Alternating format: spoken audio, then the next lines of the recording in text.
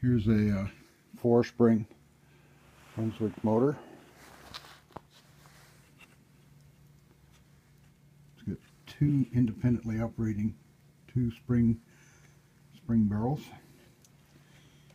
One of them goes bad, the other one will still run it.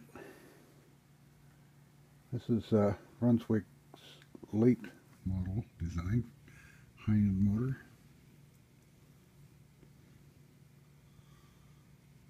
I think this one runs. Let me crank it up here.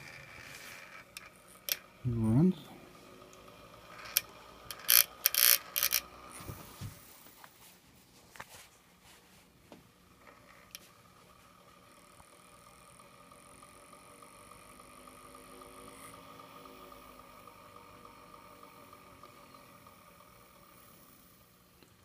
So the two spring barrels work independently to power a shaft behind behind the spindle and then that in turn turns the spindle.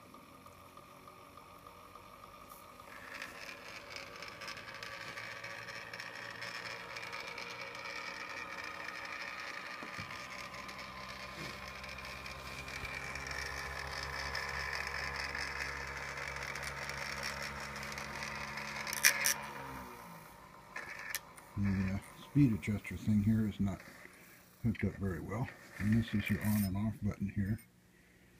This guy here, on, off, on, off. And then this is your speed adjust. But uh, the spring that holds this together here is not present, which I could probably fix.